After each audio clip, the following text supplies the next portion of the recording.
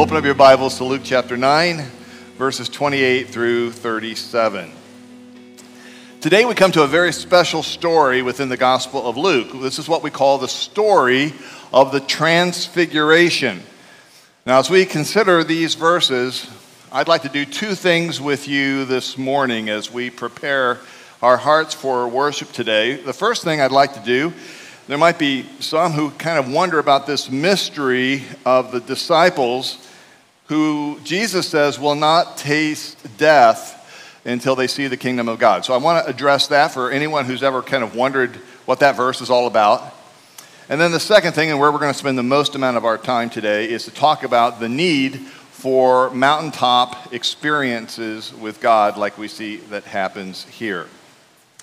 So let's start with uh, verse 27, but actually the verse before we get into our text today. This is what Jesus makes as a promise. He says, Truly I tell you, some who are standing here will not taste death before they see the kingdom of God. Do you see that? Now, I don't know about you, but when I, I see that, I wonder, well, gee, did, didn't all the disciples die? In fact, don't we think that most of the disciples, if not all of the disciples, died a martyr's death? And as far as we know, the kingdom of heaven you know, hasn't uh, come down yet. Jesus hasn't returned the second time. So, what in the world is Jesus talking about here? Well, sometimes we make this a whole lot harder on ourselves than what we have to because the kingdom of God, we discover, is really a lot more than just a place.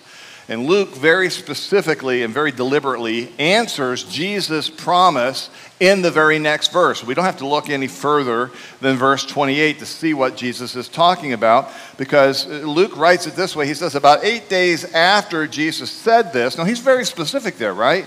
Eight days after Jesus said this. What's this? He's talking about this promise that Jesus made that some of the disciples would not see or taste death before they see the kingdom of God.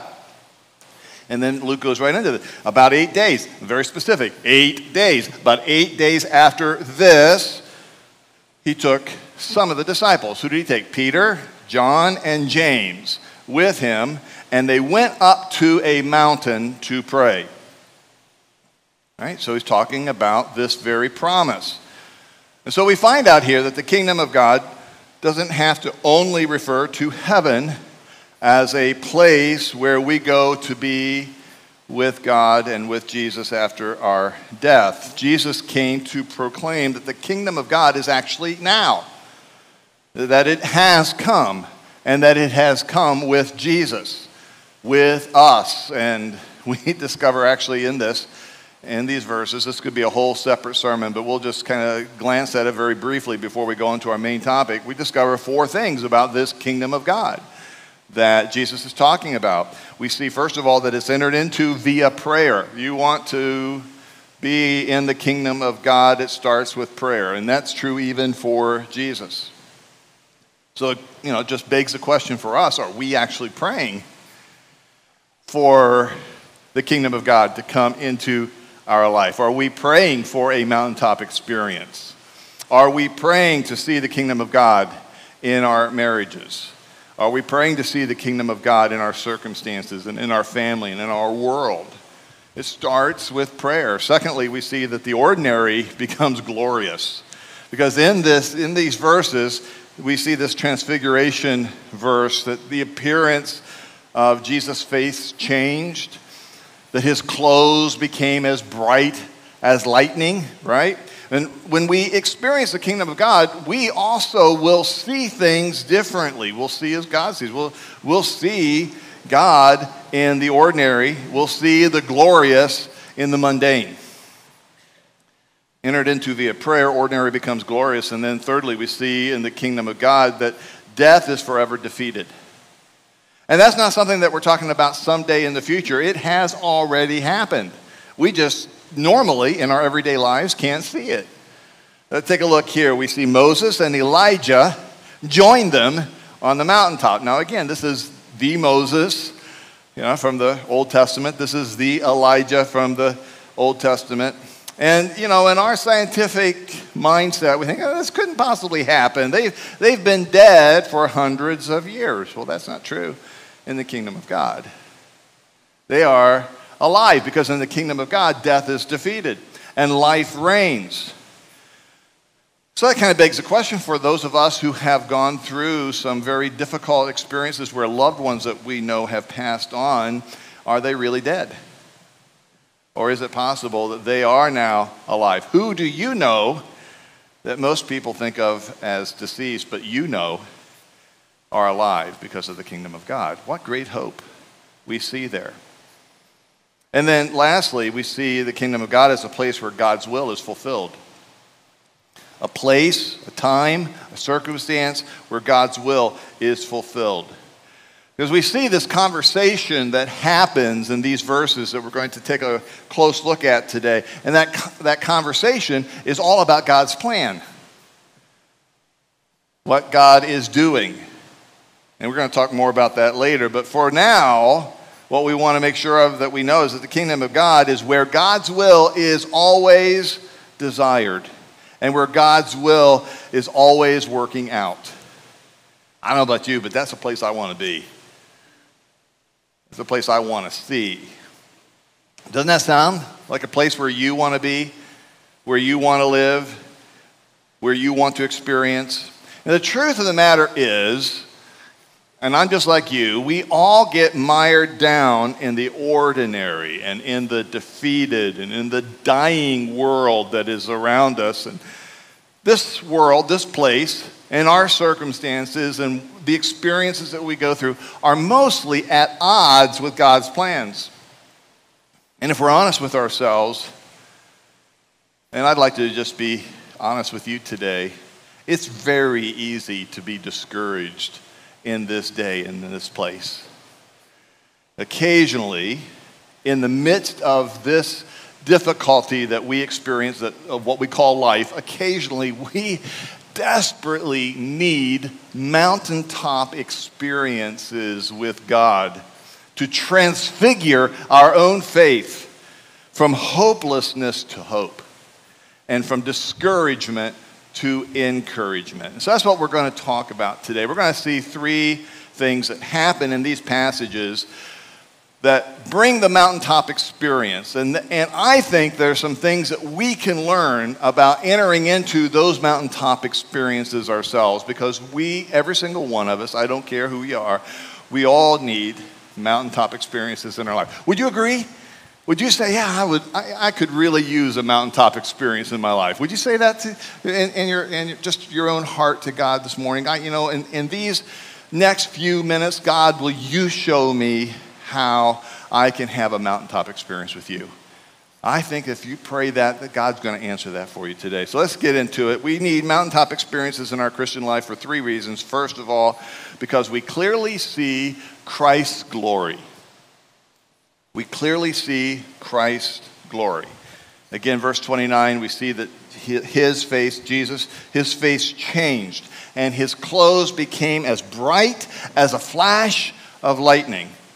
We had some lightning this week, didn't we? And if you were out looking, you could see and, and the, maybe the dull sky, how bright that flash is. Just imagine that you look like that all the time and that Jesus looked like that all the time. So bright that you kind of just have to shade your eyes a little bit. That's what we see happen here. We usually think of Jesus, and it's a good thing, that we think of him as fully man. That God left heaven in the form of Jesus and came down here and walked among us as a man. And that's great. But we need to also remember that not only was he fully man, but he was then and is now still fully God.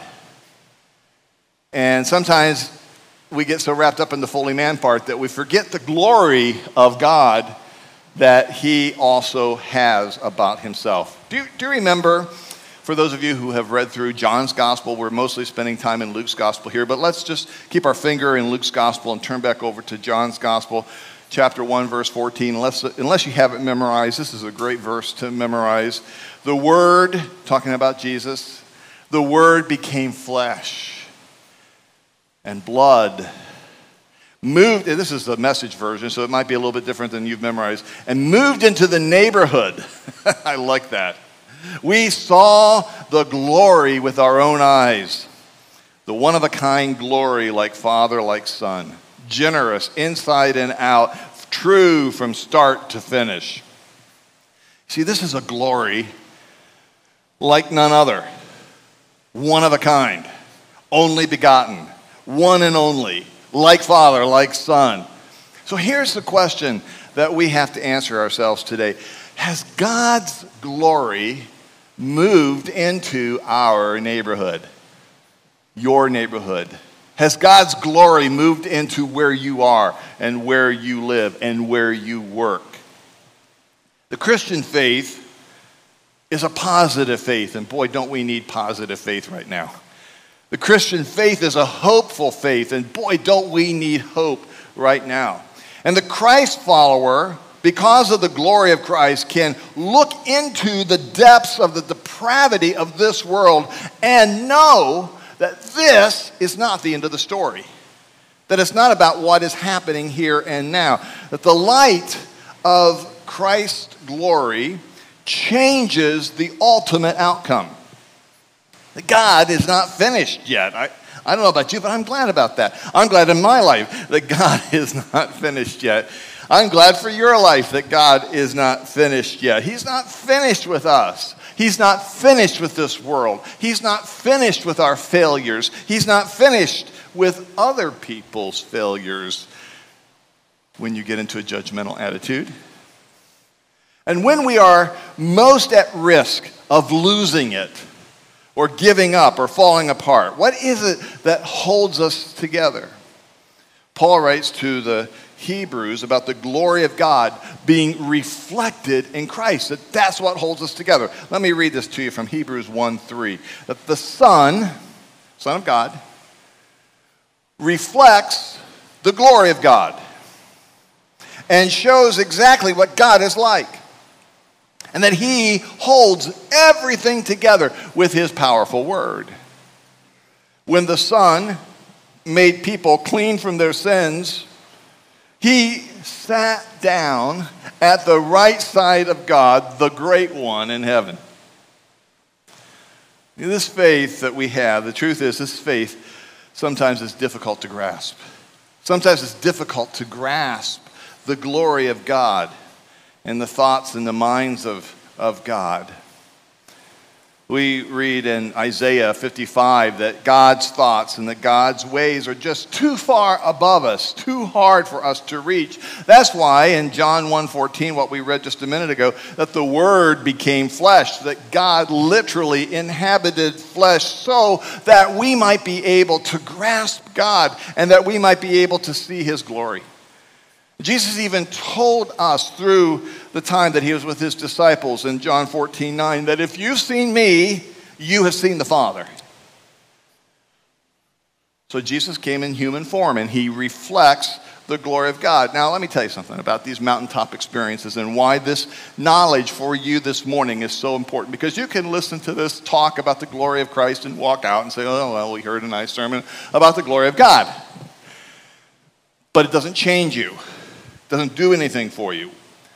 But when you come into a mountaintop experience, when you begin to experience the glory of Christ and the glory of God in your life, it's during these times that the impossible doesn't seem quite so impossible anymore. That the horribly bad doesn't seem quite so bad. That the sickness of life, even death, pales and here's a mark word for you today in its temporarity.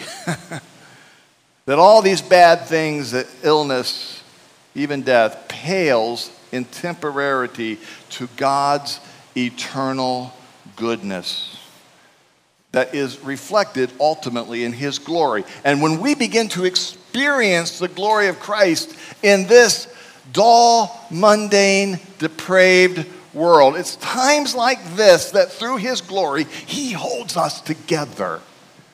And I don't know about you, but there are just times when I need to be held together, don't you? And when we experience Christ's glory, that happens. When we see ourselves cleansed from sin, when we know that His work which is all the work that's really important, is already done. That's what it means when it says, when the Hebrews writer says that, that Jesus has sat down at the right side of God Almighty, that his work is done. He's finished. He's sat down. He's it's done. We're just watching. And our tiresome struggles in those mountaintop experiences can give way to victory and peace when we see His glory. So we need those mountaintop experiences to occasionally be able to see His glory. And if it's been a while since you have experienced God's glory through Jesus, don't you want to pray, I want you to see your glory? It's been too long. I need to experience your glory because I need held together by your glory. Not only that, but in the mountaintop experience, not only do we clearly see Christ's glory, but secondly, we clearly see Christ's purpose. We see Christ's purpose. Now, we have this kind of a unusual thing that happens here. This whole, this whole passage is unusual. But let's take a look at verse 31. They, this is talking about Moses and Elijah and Jesus, they spoke about his departure. Now, when they say his departure, they're not talking about departure from heaven to earth. They're talking about his departure from earth to heaven. They're talking about what's about to happen. They spoke about his departure, which he was about to bring to fulfillment at Jerusalem. Do you see that? Can you imagine what this conversation must have been like? So, this is one of those times where you need a little bit of an imagination to kind of fill in the blanks. And Jesus' disciples, they're a little groggy at this. They had to not remember. But can you imagine this conversation taking place? Hey, Jesus, how's it going? On your way to Jerusalem now, huh? Eh, final year. See you're on your way. How'd that feeding of the 5,000 go? Was that pretty terrific? Did, did you see the look on those people's face when those pigs flew off of the, of, of the cliff? that was pretty terrific. That was so cool, too, when that little girl came back to life. We're really pumped. We're really pumped up in heaven about this Lazarus healing that's going to happen. When you bring Lazarus back from the dead, that's going to be pretty neat.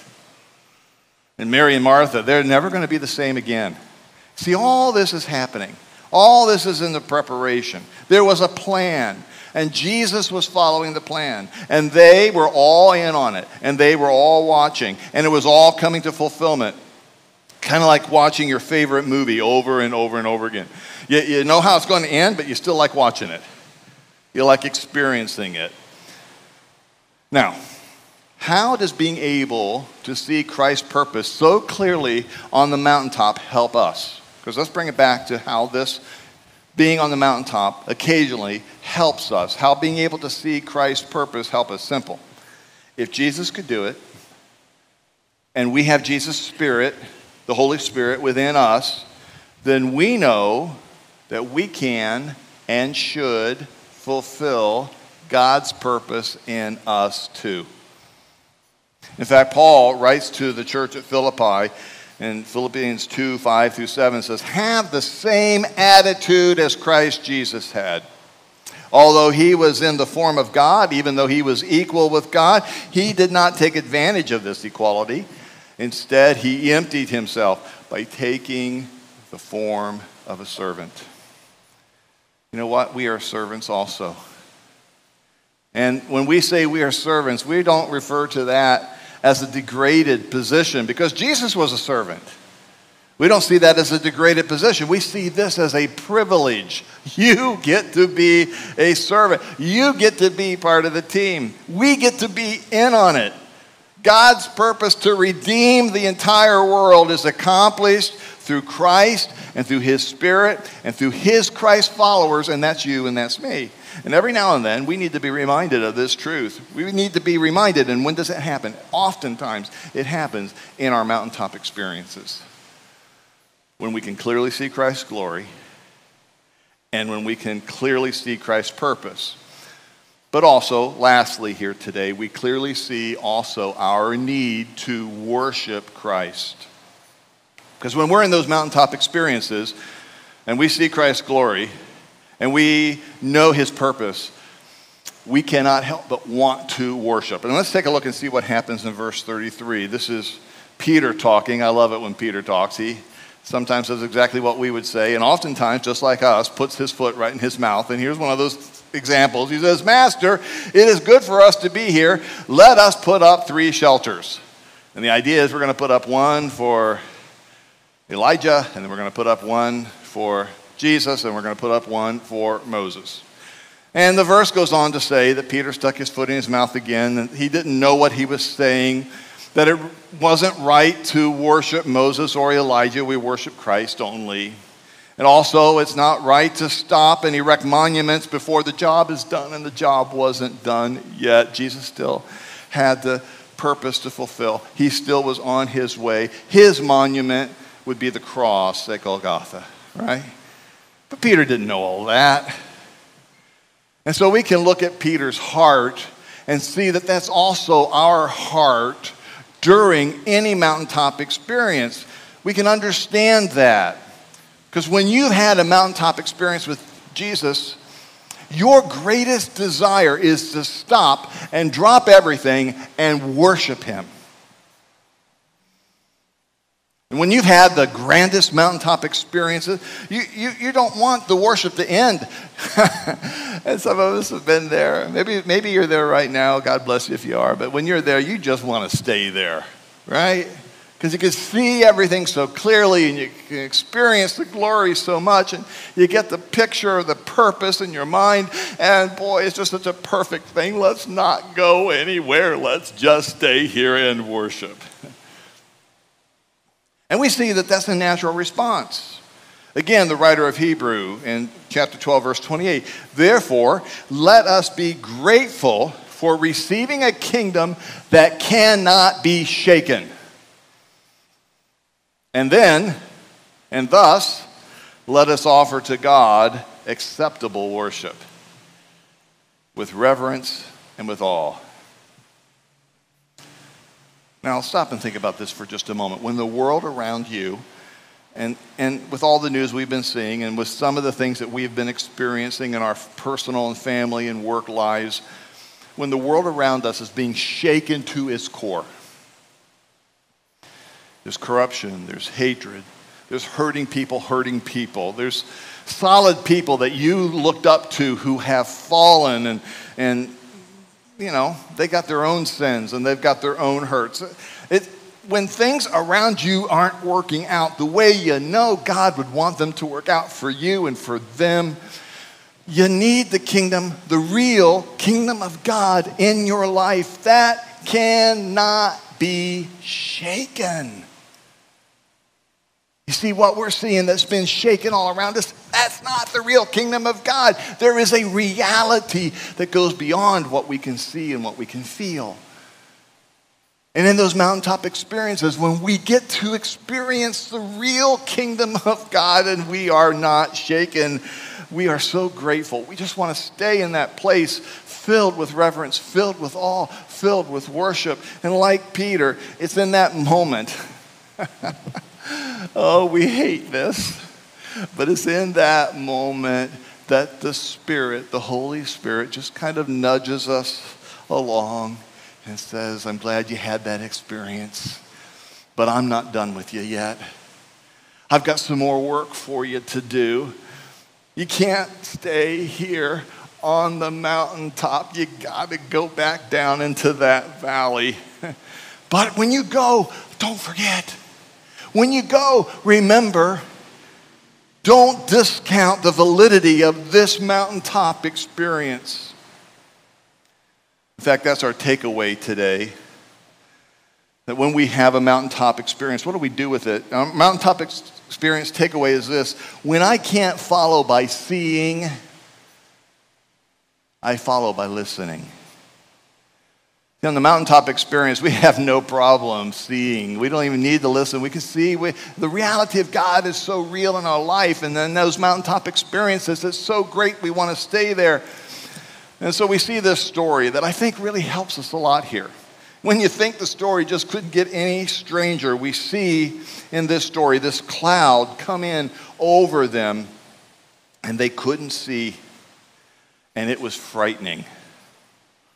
Let me read verse 34 and 35. A cloud appeared and covered them, and they were afraid as they entered the cloud. A voice came from the cloud saying, This is my son whom I have chosen. Listen to him. And I want you to know that the same thing happens to us within our own mountaintop experiences. In fact, I'm not even sure this was a cloud. I, I, think this might have just been reality settling back in. That before they could see things so clearly, and now this cloud of unclearness, this cloud of uncertainty, this cloud of what we consider to be normal life just kind of invades that space. Where before we were so certain, now we're so unsure. Where before we could see so clearly, now everything is so cloudy. Where before we could see God's glory, now we know about His glory, but really the best we can do is to feel His presence. And sometimes that's hard. And we really can't see much of anything. And the result is it's scary. It's what they say, frightening. And I don't know about you, but if you've ever been to a mountaintop experience and then you're not, Sometimes we, we wonder how it could be possible for us to move so quickly from that mountaintop experience when we could see things so clearly, and now so quickly we move to uncertainty. So today's talk, I hope, will teach you two things to remind us, two things you want to remember. First thing is the mountaintop experiences are great and they're very real, but they are not the norm. Mountaintop experiences are great, but they are not the norm. They are gifts that are given to us to remind us of Christ's glory, that are given to us to remind us of Christ's purpose, that are given to us to remind us of our need to worship. And some of us have come into a faith relationship with Christ on a mountaintop experience, and then we left the mountaintop experience and we were unsure about our relationship with God. God hasn't moved, God hasn't changed. It's just that we're not always on the mountaintop, okay? They're not the norm. And the second thing that you need to remember today to take away is this that when we're not on the mountain, and that's most of the time, we remember when we were. We don't forget. And we recall what God the Father said to his three disciples, Peter, James, and John, in the midst of the mist, in the midst of your mist, remember what God said. Listen to him. Listen to him. The truth of the matter is, is that most of the time we cannot see clearly. Most of the time we are not on the mountain. But no matter where I am, no matter what it is that I'm going through, I can hear Jesus if I will listen. And we have a very special word for that because listening Real listening, active listening is work. It takes effort. It's not something that you just go by, well, my ears are open. If you got something to say, say it. No, it's a stop and a focus and a listening heart. And the word that we have for that is called prayer. We often think of prayer as talking, but so much more prayer is listening than it is talking. Prayer. We follow by praying, by listening. So, how about you today? Are you ready for a mountaintop experience with God?